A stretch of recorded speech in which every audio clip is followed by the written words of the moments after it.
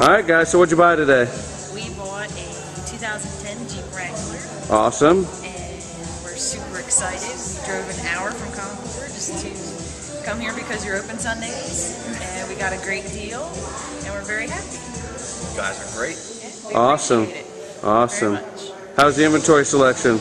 Perfect. 25 to choose from, and we found the one we wanted. Did you go online before you before you came in? We did. And how was that? Very user friendly. Good. We we thank you for your business. Thanks for having us.